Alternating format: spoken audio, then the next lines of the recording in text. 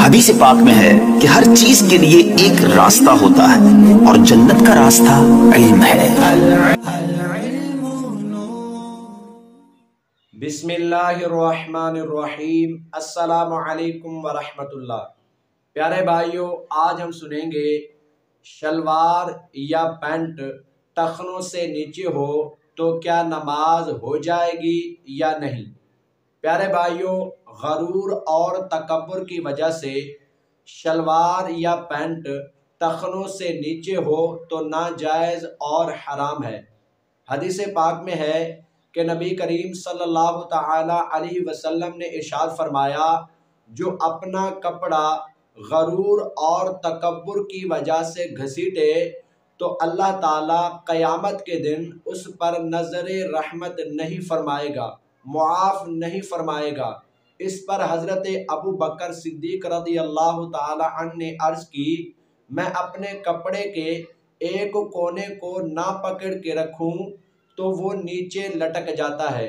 तो इस पर नबी करीम सल्लल्लाहु अलैहि वसल्लम ने इरशाद फरमाया, तुम ऐसा तकबर से नहीं करते। प्यारे भाइयों, गरूर और तकबर की वजह से शलवार या पैंट टखनों से नीचे हो तो नाजायज़ और हराम है। अगर गरूर और तकबर की वजह से ना हो तो सुन्नत के ख़िलाफ़ है। नमाज़ के अंदर और नमाज़ के बाहर शलवार या पैंट वगैरह टखनों से ऊपर रखना सुन्नत है। हमें इसका अहतमाम करना चाहिए।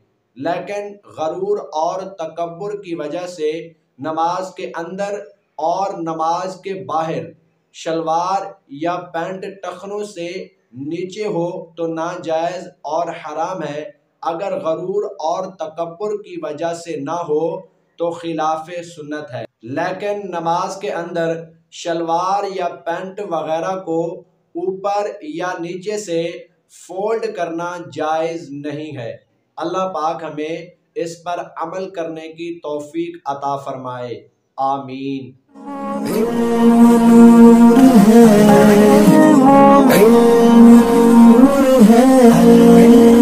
हदीस पाक में है कि हर चीज़ के लिए एक रास्ता होता है और जन्नत का रास्ता इल्म है।